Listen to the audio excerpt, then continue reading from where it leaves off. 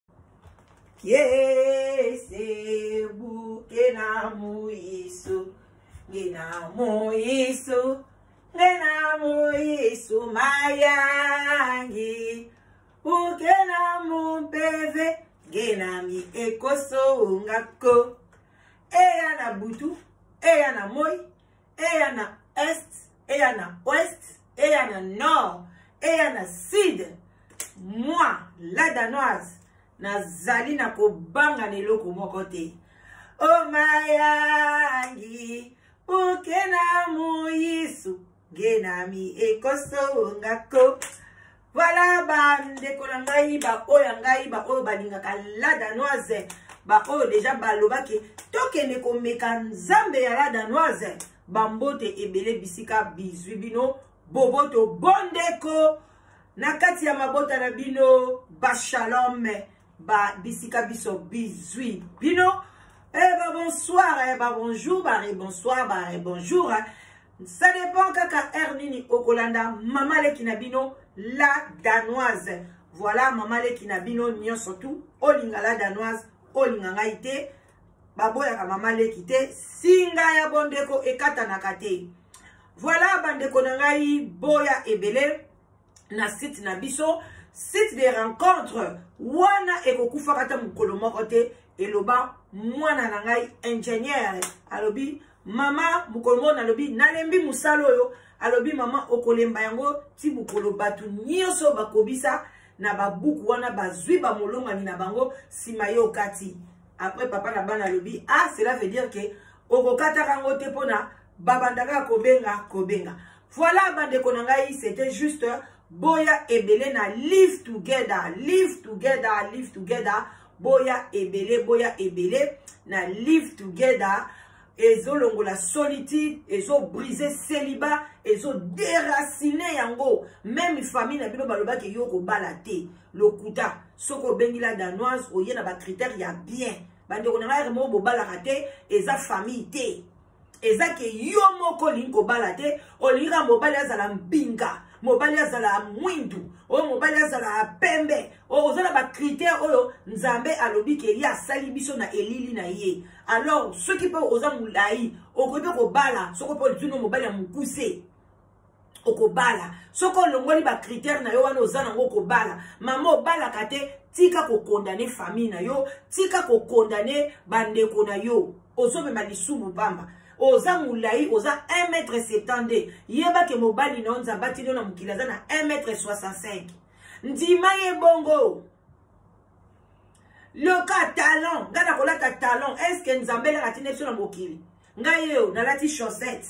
naye kosalela bino emission voilà na na kati ya ndako na ndako bakotisa chaussure te ezalaka bien te eza bosoto eza malédiction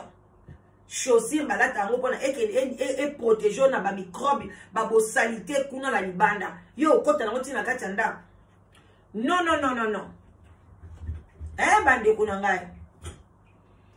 tika kokondane famille yaka na live together yaka na bacritère ya bien na na une semaine na nga congé donc na o travailler penza mpo na bino alors contacter la danoise na 0044 ebele bayisanga kaka la danoise numero na yo nayoka kaka olobaka live together me nayoka numero te bandeko na nga soki ozoka numero na nga te banda koprie cela veut dire ke batio bakoto na matoi parce que nalobaka ngo na basi na ba aire na baémission nyonso ekamwisaka nga la danoise na banda koyoko banda kala mais olobaka kaka site de rencontre mais opesaka nimero te bandeko oyebi ke ekamwisaka nga ngabi o oh. mais nimero na ngai yango oyo eh? bato kutu babengaka ngai mpona bafinga ngai na meme nimero wana sikoyo yo nimero wana oyoka yango te kaka bazabulu oyo bayaka mpo bafinga ngai nde bayokaka nimero yango ndeko mwasi nazoloba yango na, na pete nyonso papa nazoloba yango na pete nyonso ndeko mobali eh, eh, bozela na kolakisa bino foto moko eyeli nga batindelai nga j'espère ke naomona yango ndeko na biso auti okufa na manchester ye moko na kati ya ndako mobali kitoko bomoni solitude eza mabe soki bazoluka bandeko na ye soki bazoluka banani bayebi ye akufi na mboka awa na kati ya angleterre na manchester batindela ye nga foto babila danoise panza sango ntango mpe na kopanza sango bobandi suki koloba ekotaka na bavi ya bato eh, bacongolais alors ndeko na nga solitude eza mabe boye ya bandeko emission na nga se ebandaki ntango naoloba boye emission se ebandi boye ebele bokomisa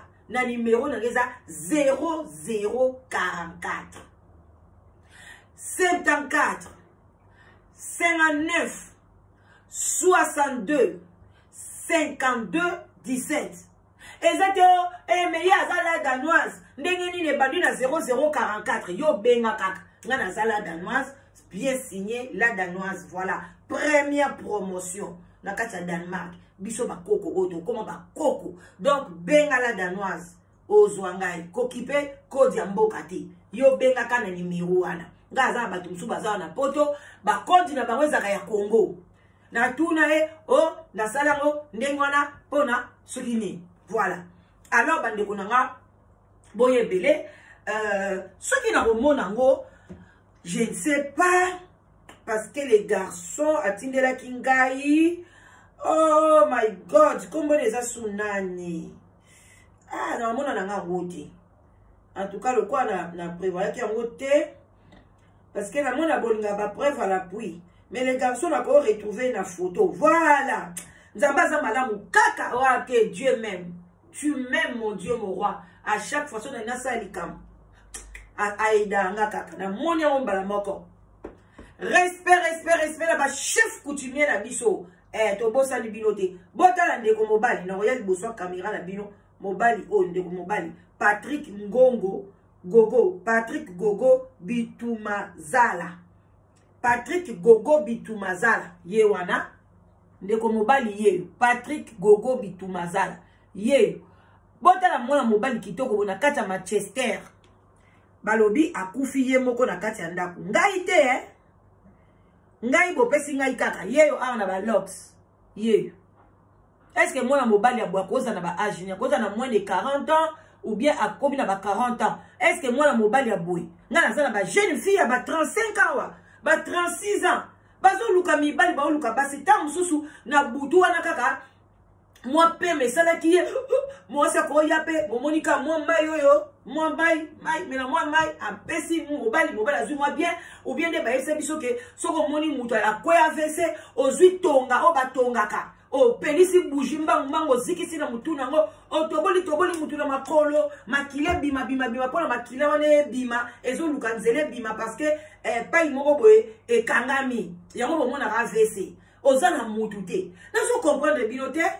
yango bozobanga kobala boza na mbongo ya, ya, ya doti te yaka mpa mama na leki oza na mbongo ya doti te ngamona opesa yo ekomi sikoyo ndenge wana eh? mpo nazo comprendre te tobanda osala boye association bato nyonso tu oyo oh, aza na azwi mobali mwasi na live together bana mibali tokomi kochange na biso te ozwi mwasi tosali boye banani baza basi couple na bango ekebie bali babalana tokotize biso nyonso bato ya live together ndambu ndambu topesi ndeko na biso wana ake asali présentation abali mwasi na ye ekomi tour ya moninga ntango mosusu tosala mpe bongo eza mpe mabe te ezaka na cadre ya lisalisi mpo na tozwaka baka ya boye après ola oh, danoise yo wana oyo oh, nini yango oyo if anonyme knows him he died alone in manchester balobi this man he died alone alone eh? in manchester yango oyo bakomeli ngai awa na anglais hmm? who knows this person he died alone akufi ye moko na kati ya ndako yaya na manchester eza ngai te eh, bon tokende mbango moko na lisolo ya lelo bandeko na ngai eh, lisolo ya lelo eza ke bokeba bo bandeko bokeba na bato oyo tomonaka na nzela bokeba na bandeko na biso bakongole oyo tomonaka na nzela yo omoni ye bien alataka veste omoni mama moko azalaka propre aza na lolendo mais oyebi dossier na ye te oyo ye abwakela ngunda ndeko na nga oyebi dossier na ye te bambote ebele na mama na biso na allemagne oyo alobi na danoise beta lisolo obeta sete na likambo oyo parce que likambo oyo eleki na kati ya allemagne bandeko na ngai na kati ya allemagne ndeko mwasi balie ye litoi ndenge tooloba boye ndeko mwasi litoi eza te soki ezalaki la danoise e eh, fuidi fuidi fuidi ah! eloko la danoise alinga na nzoto lokola litoi na ngai bandeko bondima te motu na moto azalaka na eloko na ye oyo asepelaka nango na nzoto na ye ngai nasepelaka obele na matoi na ngai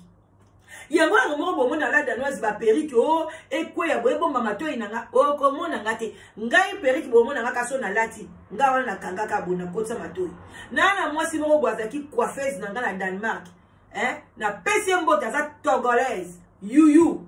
abandaka kosilikela ngai wana aza kutu jeune ndeni yosala kaka modele il faut kaka basala tout ekende kaka ekanga chignon esala boye il faut osape bacoupe ekiti boye gabi matoi il faut emonana fo matoi na nde emonana sikoyo ndeko mwasi na allemagne na kadre ya koseka kaka bakati ye litoi eza te bakati yango na mbeli te balia yango boye litoi nde ya mwasi wana alaki na minu moko tozoyeba te soki asi kolia lie litoi litoi nyonso elongwe epi alie yango bandeko bamoni yango te soki mpe ntanga alie yango ameli yango parce que alingi kutu te ke litoi wana ekita na se bakende kotonga yango tala niveau botala niveau tokomi nango na kati ya communauté parce que toyebani bilongi me toyebani bitema te yaya nalingi naloba nini ntango yo oye kobwaka ngunda na yo boyebi te moto abwaka dosie na ye nini bamosusu babwaka te babelaka maladi ya bitu babelaka maboma bazokende kuna epai ya ba, na, na ba, na ba autorité oyo place babokela bagunda mboka na mboka babenga yango na nkombo na yango biso kuna na danemark tobanda okende na sandol soki oyeba kotindi no na sandol okende place moko babenga yango sandol kuna nde oke kobwaka ngunda bato ebele babwaka ngunda babelaka maladi ya mitu ke bamitu na bango ebouja baza na badepression na baviolo bazwa na bamboka oyo oh, na makambo bakutana na yango baya bakosakosa ndenge wana mama mondele andimaka makambo biso tolobaka toye wana tokomi bakomi bakomi na dossier eh, napesi garso moko mbote aloba na ngai la danoise nga soki olukeli nga mwasi yebisa ete ngai nabwaka awa ke motu na ngai esalaka te donc nasalaka na ngai te naliaka mbongo ya badisable donc naliaka mbongo ya bato oyo mitu esalaka te ayeba deja ke ngai naliaka mbongo wana mbote esika ozali garso wana aloba verite ti na kati ya live together aloba verité mais le garçon jusqu'à présent nano nazwila ye mwasi te parce que akomi deya na ba 47 ans abota nanu te alingi mwasi oyo mpe nanu aboti nanu te azala sikoyo na ba age ase yango wana ezosala mobulu bato mpe ya age ase balingi mibali ya mikolo te oyo ezosala ke moyen kutu nazwila mpe ti mwasi te ti lelo ere moko akoyoka nga nga natanga bakomba bato te me toyaka kaka ere moko topesi mwa ka moko boye mpo na elamusa conscience alors bandeko na ngai eye kosala ke nzoka kuna na kati ya limani mama oyo alie litoi wana aza normal abala abota akendaka kisasa asalaka nyonso me nde balobi kake mama wana aza na songisongi songi. soki oyebisi ka likambo na miniti oyo 5 miniti ekoleka te abengi moto mosusu me telema mpe bato boyebi ke mama wana aza na songisongi bino mpe bolingaka kaka ye bolingaka kaka ah, bokende kotonga bato epa na ye alors mama oyo bakati ye litoi akendaki koyebisa ye makambo oyo ke mama songisongi akokaki kokanga te kaka ndenge bayebeli epanza makita abengibengi bato likambo eyindi likambo ya bato eyindi moninga moko boye abetelaki ye lisolo kaza na makangu na ye abima na mobali moko boye malgre aza marie ye mama balie litoi olie avanda kende koyebisa mama songisongi mama songisongi topesi kaka kombo mama songisongi mama songisongi ake kokomisa yango tie epai ya mobali ya mwasi wana mpo na ye ezali komona epanza makita nzoka mpe na dosie nde ntango aya kobwaka na allemagne abwakaki azalaka moto ya liboma bato bamonaka kaka alataka bien me asalaka na ye te bafutaka ye bambongo soki ake na ye mpe badokter kuna asalaka bagrimace bandeko makambo oyo bondimela ngai eza ya solo ebele awa na poto bazwa mikanda ke mituna bango esalaka te sikoyo leta ayebi ke ye motuna esalaka te yoki kolukela makambo epai na yo alia yo litoi atya yo mbeli eloko nyonso ya kosala yo ye ezali nile sans effet parce que aza moto ya liboma yango wana bamama bomikebisa boyebi badose ya bato te bino kaka oyo fani na ngai oyo nga mpenza yenga elienga eleye mama yo nde moto na nga moto oyo ozoba moto na abwaka moto ya liboma abwaka moto ya liboma bandeko eye kosalaka ndeko mwasi ntango bakutani babandi koswana parce que ndeko mwasi wana baye koswanisa ye nao na ndako balie litoi yo ndenge nini likambo tosololaki yo oke koyebisa mama songisongisongi mama songisongi ye wana aye apanzi yango mobali na ngai yebi nde toza boye toza na divorce a ah, bandi koswanisa bandi kowangana eza yango ngai te eh. totelema tokende kotuna mama ka nde bakongole bazala bamima makambo wana ntina poto bango na kudukudi ba mama songisongi balola mama songisongi yaka tokutana mama songisongi mpe elombe nzoka nde mama songisongi ayebi ke ye abwaka na ye moto ya liboma na kati ya allemagne oyebi ke ye wana ye bato mpe bato balobaka yango mama songisongi oyo abangaka makambo te mama soko omoni moto abangaka makambo te kaka ye wana likambo nyonso elombe sese likambo nyonso elombe sese tokotala eh, ngai yewa okomona la danoise wana bozomona ye boye kaka la danoise bokeba enso abwaka na ye moto ya liboma nga kutu nakolanda bino te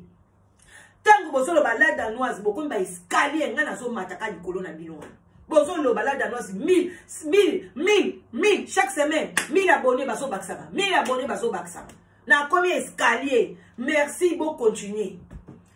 lere bapesi ngai lisolo ngabi e eh, e eh, e eh, e e joli batimis aza na raison la danoise kolanda bango te conseillère privée ya la danoise jolie batilisa bi yaya stop ye soki alobi likambo na yoka lokwa batyenga mbeli okaka pa na kati meme mobali na nga bana nga bakoloba na oyoka te mais so jolie ayebisi nga kala danoise tala situation bo memango memango bo pa losako esika ozali respect bele mpe na mama na nga emilia na kati ya france que dieu te benisse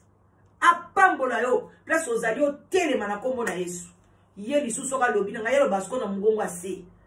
ezokota yo kaka malembe malembe ezalaki ka entre parenthèse mpo na koloba ke bokeba toza na bato ebele babwaka na bango nzoka babwaka bato ya maboma mpe aza conseil ayebi balwa na yebi ke ngai leta ayebi ngai naza na ngai moto ya liboma ata nabomi motu ata nabeti ata nasali boba osala ngai eloko te parce que dossier evanda akendaka kuna bapesaki bakisi bakisi nde soki aye abwaki na ye yango baloba mindele bayika aza ne moto ya liboma bandeko na ngai kosala ke ndeko na biso bakei kudukudu bakomi kuna mwasi wana eh, eh, eh, koswana yo boye yo papapapa mwasi wana kanga moninga litoi kaka mikolo ya corona ya ya keba soki munoko ezalaki na corona na litoyi bakati na corona ekoti yo kanga litoyi ya moninga naye te soki mwasi wako azali na litoyi ya moke soki mpe ndenge nini litoyi nyonso tu na monoko ya mwasi wana voisine wana azalaki wana alobi bamoni litoyi te makila baluki lito oyeba eza te soki abador bazomona comme si soit azwaki abwaki ou bien amelaki yango mais bazona bafo ezala 95 pourcent ke mama songisongi amelaki yango e eh, bapolisi baye bapolisi allemand Hey, eh, encore ba police allemand nde baza ba raciste bandeko ba police allemand baza ba raciste ngai na oyebisa bino verite lelo na obeta bino na okotisa kotisa mwa bamasolo ngai moko la danoise oyo nalati teni ya mosala ya tozo kokumba balokomotu kuna batrain okoma na allemagne boye pupukupupum hmm. yo wana ozwi sako dona wana tomemaka ya kilo ozobima soki ozofungola porte kokoma ka ozokoma boye na teni passport dakesh dakesh dakesh dakesh dakesh hmm. dakesh passport pa oh. me nalobi bandeko na nga toza na moninga mondele ye biso mibale tolati bateni ndenge moko mondele abimi ye wana koba mindele bazaka mbango alinge time na ye ya kolia ekoki akipatanga ye wana kaka ndeko koleka mondele akiti ake na ye na hotel babanda kopesa biso kuna na allemagne nga natikali wana ye eh, fungola passeport lakisa boye babenga na danemark e eh, o oh, baza baraciste mais nga banda okipe bango te na olobana na koboya mpe te so basengi nga kanabi yango oyo yango yango yango yango babengi babengi nga wana nake na baye Hey, babengi bapolisi wana baye baambulance bamemi mama na hôpital bazwi mama wana bato bazokaba te mama kima polise bazoyebisa bango basongisongi kima poli mama songisongi aza kuna te abi polisi aya hey, eh, aeza ngai nazalaki na ndako na nga bango moto babengi ngai toya kokutana na enregistraki bango yaya enregistre bato ndenge babengaki ye kuna bakende kokutana ndenge bande kofinga ye mpe bande kofinga oza songisongi oza liboma na motu na yo oza bo nyonso mama na tyaki yango bake na, na koti mama wana un eh, dossier ye azalaka moto ya liboma dede aye bango kuna baenregistra eloko te mama oyo ya liboma aenregistra makambo na ye bainterprete ba, ba, ba, ba, baye balobi baye balobi mama liboma aza na raison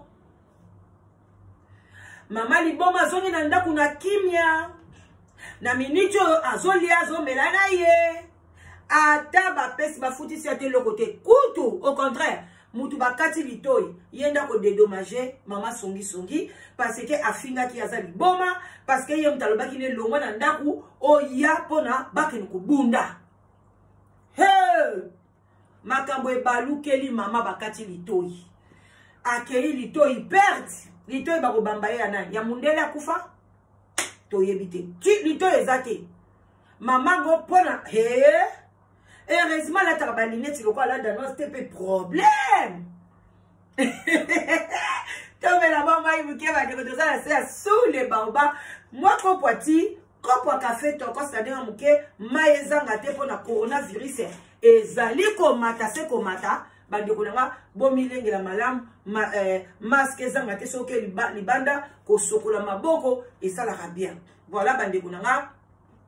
problème na yaki koyebisa bino yango wana donc ndeko na biso bakati ye litoi alors mama na biso na allemagne alobi la danoise lamusa conscience na bato oyo bakongole oyo bozomona omonaka moto ya bato na nzela yaya eza te ke mutu omoni na nzela yo wana banda kofinga ye banda komonela ye boye eh, tala ye kuna la danoise makolo mikie lokola ya gangame yaya ata naza makolo mikie lokola ya gangame ma ezopermetre ngai natambola yaya ezopermetre ngai na saute bino boyebi ngai kuna aza na ngai souple kutu so na bino asaute makasi ana kosaute kaka eh ezo permettre nga tana se déplacer yaya nga konga ko mutuka te obeka makolo na nga mutuka na ngai awa bolobi makolo na nga eza mike lokola ya gagame bongo sikoyo gagame wana aleki bino na mbongo azokonza bino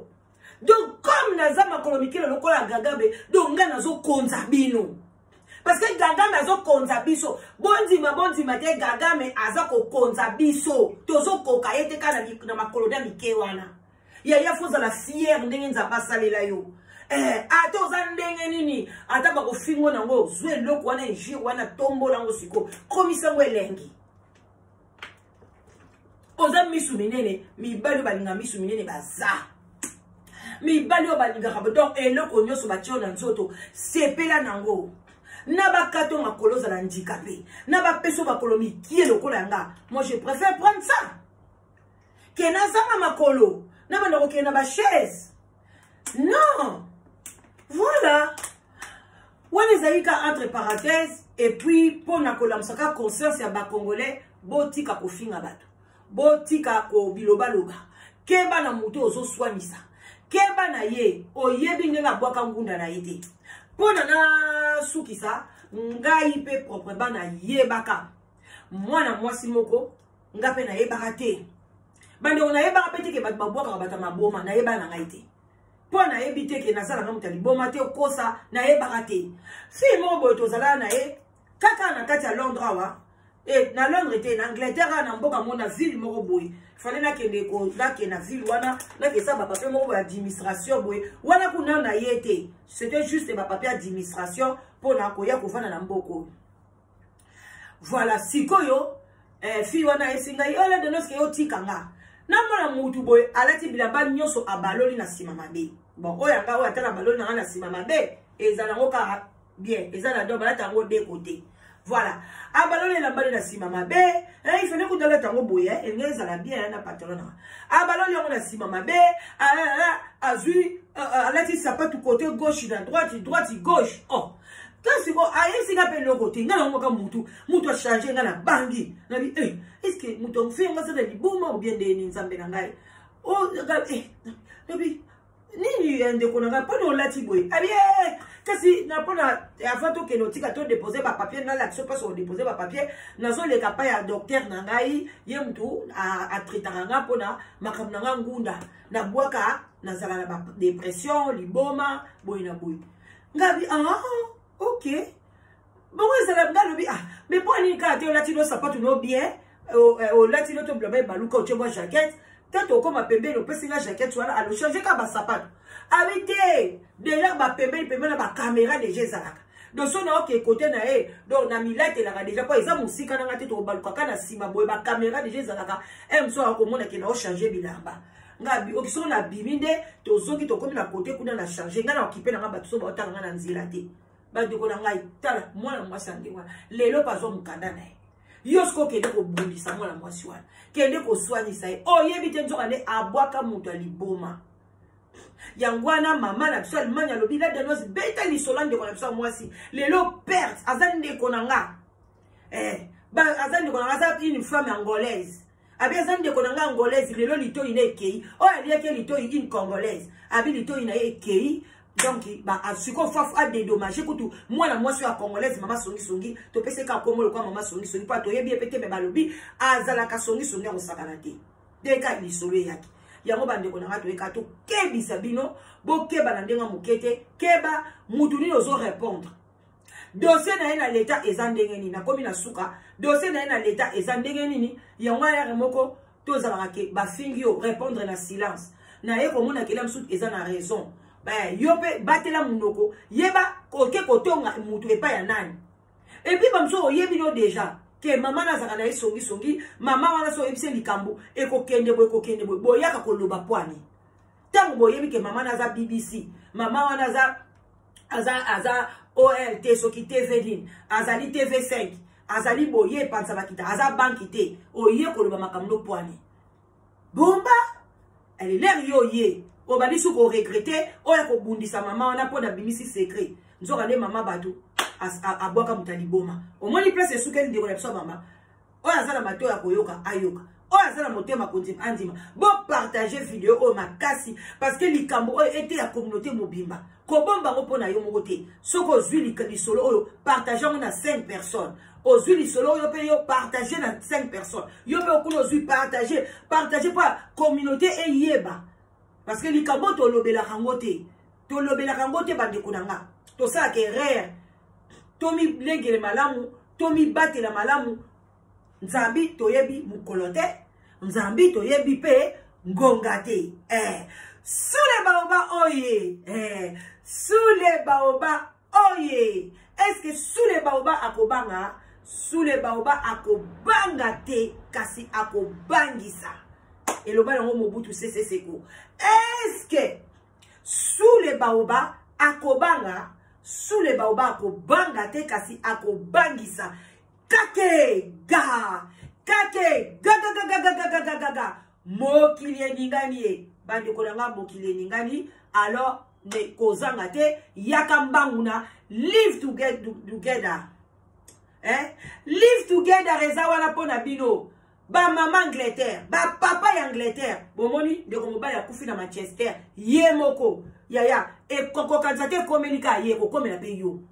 yo wana mobali wana ovandi kaka boye benga na danoise ozobenga te kaka baduti ekokomela lokola papa na biso wana kokanisa te ke likambo ekwelaka voisin te yo papa yaka ba papa 60 boza wapi ba mama basi babongoli mitema bazalia eh bamama babongoli mitema bamoni ke kobengana mobali eza mabe tozoteyaka yango mpe mikolo oyo eza mabe bamama ebele babi to to nazo ya pokwa lelo na pokwa lelo so nazwi courage tokɔta live tokontinue dosie na biso mpo na nini tobengana bapapa lelo mama moko abengai ngai nayebisaki bino nini na émission na bi bamama ebele bazobenga bazokosa tobengana na mibali te boye na boye nzoka nde bazalaki wana bazobanga kotelefone bango moko après caméra babengi nga tozonga na deba wana voilà balove love bisika bizwi bino wana mama leki na bino la danoise contacte ngai mpo na live together contacte nga mpo loso ozala lisolo na olingi mokili bayeba oza na besoin conseil biso topesaka conseil casling babenga yango yaka koyo kozwa conseil na yo mpo na problème na yo kozala yo moko te ngai soki olobi na ngai oye mpo na conseil ekotikala conseil tomeli yango toke na, na toilette tolekisi ekei soki oye mpo na tosanza yango tomeli yango mpe tosanzi yango na kamera donc toza na deux volet mosala nde totambolaka nango donc kobanga te ngai na enregistraka motu moko te loba yo moko lobake la danoise enregistre ngai ngai nalinga koenregistre bato te telefone na nga ezali na espace ebele te mpona nabombaka baaudio ya bato alors kobanga eloko te yaka ozoluka mobali na yo eza na discrétion moto akoyeba te ekozala kaka yo na ngai na nzambe eh, epuis na mwasi oyo tokozwilo obien mobali oyo tokozwila yo soki ozozela témoignage mpo na oya oya na live together okoyaka te okokufa na solitude yo moko na kati ya ndako eza te ke soki oye na live together balobi otuli otuli te eza nde batemps